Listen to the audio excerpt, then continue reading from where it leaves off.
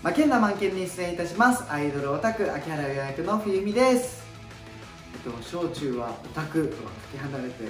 サッカーをやっていたんですけれども高校生はえっとアルバイトラーメン屋とか引っ越しとかいろいろやってたんですけれどもその中で一番長かったのはラーメン屋さんをいっぱい長い時間やってました。自分自身舞台とかお芝居とかは初めてなんですけれども精一杯頑張らせていただきますのでよろしくお願いします。